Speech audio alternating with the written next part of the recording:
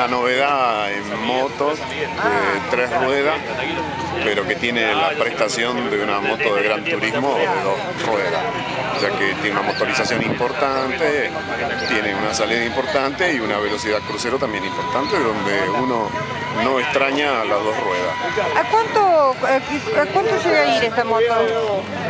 ya no creo y sin viento capaz de llegar a los 200 kilómetros. Pero una velocidad linda es entre 120 y 150 porque tampoco la ruta lo permite. Claro, no, por supuesto. Eh, tengo entendido que solo hay dos en la Argentina de esas Sí, motos. sí, RT hay dos en la calle y RS, que es la que no trae carenado, eh, hay ya varias. Ajá. ¿Y cómo usted la hizo traer especialmente? Sí, yo eh, como no estaba este modelo, compré la RS con, con el acuerdo que cuando llegara la RT y fuese homologada, cambiábamos. Yo entregué la RS y me quedé con la RT. Eh, ¿Hace cuántos años que se dedica a asistir a los encuentros de moteros? Bueno, los encuentro no tanto, pero que tengo moto desde los 8 años, o sea que hace 51 años que ando en moto. Tengo entendido que le, gusta la música clásica, de acuerdo a los, contactos que establecimos vía mail, ¿eh? Sí, sí, eh, yo soy un amante de la música clásica y la ópera. Conozco este, los auditorium este, y los teatros más famosos del mundo, como el Kirov, la ópera, eh, Pastor, el auditorium de Boston.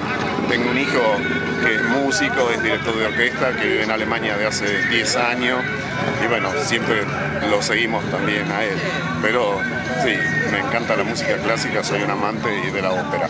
Conozco la Arena de Verona, eh, eh, la Scala de Milano.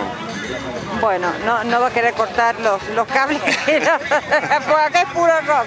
No, Eh, no, Otra de las cosas que le quería preguntar a usted de Tandil, tengo entendido. Sí, yo soy de Tandil, soy el italiano más italiano de la Argentina, ya que nací en Italia, soy director de una empresa italiana y tengo un cargo diplomático italiano que soy cónsul.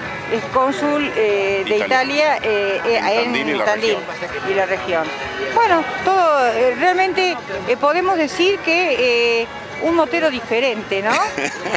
Eh, Totalmente No, diferente. yo acá tengo mi gran amigo Oscar que piensa como yo y más que moteros somos motoviajeros. Motoviajeros, motoviajeros.